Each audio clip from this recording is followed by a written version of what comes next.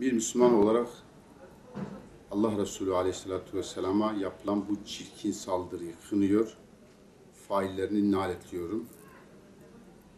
Ee, bunlar e, hiç şüphesiz e, geçmişleri hep karanlık ve yeryüzünde hep insanların gözyaşını, gözyaşına gark olmasına sebep olan e, mazlumların vatanlarını, topraklarını işgal eden ve belki milyonlarca e, insanın kanına giren e, bir zihniyetin tezahürüdür.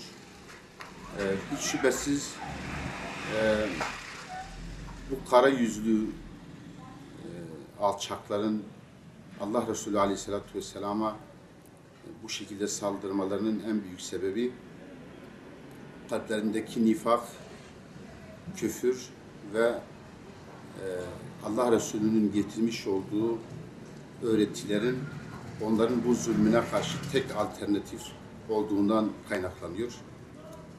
E, bunun için bu şekilde kinlerini kusmaya başlıyorlar.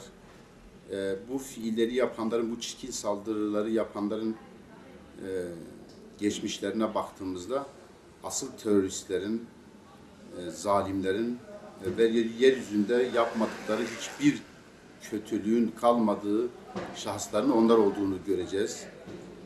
E, Müslüman olarak biz Müslümanlara düşen bu gibi saldırılara karşı hiç şüphesiz e, en yüksek şekilde, en yüksek derecede tepkimizi ortaya koymak, Allah Resulü Aleyhisselatü Vesselam'ın hürmetini koruyup muhafaza edebilmektir.